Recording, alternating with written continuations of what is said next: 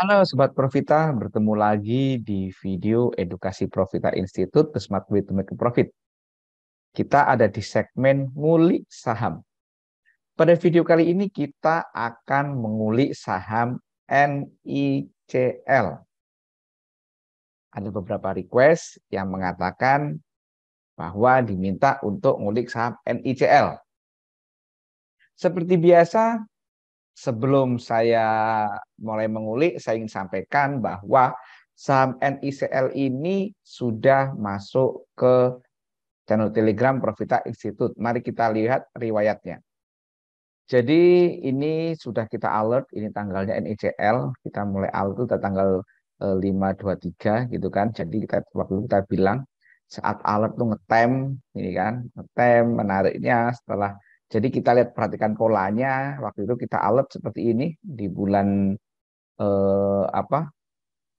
Ini di bulan April ini kita lihat bahwa ini salah satu saham menarik yang masih ngetem, gitu kan. Kita bilang secara teknikal bila tidak jebol support 72 atau tanggal 22 Maret masih bisa dikatakan uptrend. Sudah lepas Bollinger beberapa hari ini asing masih rajin belanja. Tipikal saham yang harus sabar menunggu. Udah kita jelaskan di situ. Tapi kalau sudah meledak bisa lari kenceng mengingat volume sebelumnya sudah menarik. Waktu itu harga uh, boleh average down bagi yang sudah nyicil atau mulai belanja bagi yang belum punya. Waktu itu harganya masih 74.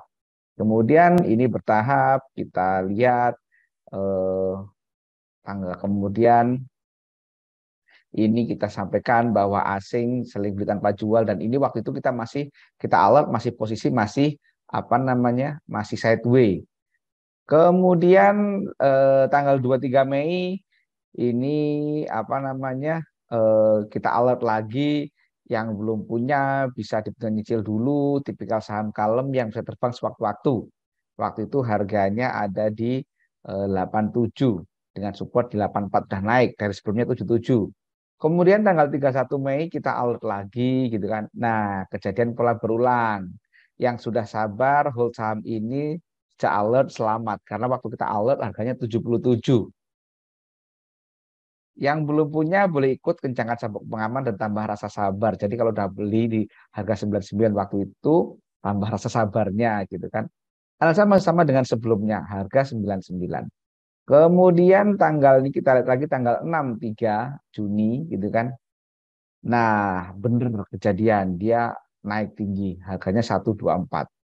Bayangkan kalau kita hold di bulan Mei dari harga 77, 124 ini sudah puluhan persen, sudah hampir 100 persen. Dan ini banyak member Profita yang ikut di saham ini. Kemudian ya sudah kita kasih alert gitu kan. Meledak hari nampak istirahat, candle merah, tapi harga hijau. Yang belum punya sabar, tidak jualan, disebut support, dan seterusnya yang sudah punya kita bisa ikutin Bollinger karena salah satu eh, analisa apa timing jual kita itu menggunakan Bollinger. Harga 120 waktu itu, kemudian kita lihat lagi alat lagi tanggal eh, apa tanggal berapa ini? Ini tanggal 9 Juni. Kemarin candle merah. Bila hari ini merah, maka bisa dikatakan candle merah dan lepas Bollinger dua kali berturut-turut. Di mana ini merupakan sinyal jual. Tapi kalau candle hijau masih layak hold. Yang belum punya atau menambah posisi perhatikan bila warnanya hijau. Kalau merah ya jangan beli. Waktu itu harga 106, supportnya 100. Kemudian kita alert gitu kan saat turun volume masih cenderung kecil gitu kan support 93 harga 103. Yang mau masuk silakan terapkan money management dengan bijak. Ini artinya saham-saham seperti ini ini potensinya ya juga potensi turun juga masih gede. Makanya kita gunakan kata-kata terapkan manajemen dengan bijak.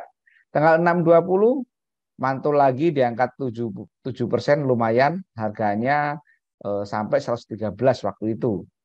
Kemudian kita alert lagi selesai. Jadi ini sudah kita kasih alert seperti ini sempat naik dari 113 sempat naik kemudian turun dan hari ini adalah kita sampaikan tadi pagi jam 9.57 kita pernah bilang NICL sudah pernah kita ikutin terakhir di awal di channel Profita ini tanggal 20 Juni. Kemudian harga turun hingga muncul sinyal jual yaitu lepas Bollinger dan mereka dua kali berturut-turut. Sekarang bisa mulai kita ikutin lagi per hari ini. Kemarin hijau, sepagi ini hijau dan lepas Bollinger bawah, stokastik di bawah 20. Saat turun kemarin asing juga masih belanja, boleh mulai dilirik lagi, gunakan money management dengan bijak, artinya ini juga jangan langsung full modal, tapi gunakan money management dengan bijak, bisa 20, 30, 50, atau 20, 30, eh, 50, maaf, 20, 50, 30, monggo silahkan teman-teman sesuaikan dengan profil masing-masing. Hari ini waktu kita alert harganya masih 82. Nah, sekarang akan kita sampaikan lagi penjelasan lebih detail tentang saham NICL ini. Supaya tidak hanya sekedar tulisan ini saja. Mari kita mulai masuk ke chart dari NICL. Ini chart dari NICL. Sekarang kalau kita perhatikan, kita lihat jangka pendek, jangka panjangnya. Kalau kita lihat dari jangka pendeknya, maka sah kalau ada yang mengatakan bahwa saham NICL ini posisinya apa namanya downtrend itu juga boleh karena seperti ini mungkin eh, pandangannya. Nah, seperti ini. Nah, jadi ini posisinya sudah ini posisinya sudah downtrend gitu kan. Ini boleh apabila berpikiran seperti itu jadi nanti naik pun nggak akan target terdekatnya adalah di sini. Nah, target terdekatnya 101 misalkan kan. Nah, jadi kalau nanti ada yang mentargetkan 101 ini boleh. Tapi kalau ada yang berpikir menggunakan uh, ada yang memiliki asumsi bahwa uh, ini masih uptrend dasarnya seperti ini juga boleh. Ingat setiap orang bisa punya persepsi masing-masing terhadap suatu saham. Jadi tidak ada istilah kamu benar, aku salah, atau aku benar, kamu salah, nggak ada. Kalau ada yang berpikir seperti ini juga boleh, gitu kan? Ini boleh, bebas-bebas saja. Tapi kalau seperti saya bilang, ini dalam jangka pendeknya ini masih downtrend. Ya, oke, ini masih downtrend. Tapi kalau ada yang mengatakan ini dilihat dari sini masih uptrend, ya silakan bebas saja. Tetapi yang ingin perlu saya sampaikan adalah mari kita lihat doanya dulu. Doanya boleh kita bagi menjadi beberapa segmen. Misalkan kita bagi dari segmen pertama ini, kemudian segmen kedua ini, segmen ketiga ini. Nah, seperti ini aja biar gampang. Sekarang mari kita lihat dari terakhir dari tanggal 21 sampai kemarin NICL. Tanggal 621. Nah, ini ada akumulasi asingnya, all-nya juga akumulasi. Yang belanja adalah PD, YP, siapa ini? Ini adalah eh, apa namanya eh, retail. Kemudian di sini juga ada NIXC juga retail juga di sini. Jadi kalau boleh kita bilang di sini ini sahamnya ada akumulasi. Nah ini harga turun kok akumulasi kan aneh. Nah kemudian kita lihat dari tanggal 6263 sampai 620 ada apa? 63 sampai 620 ada apa?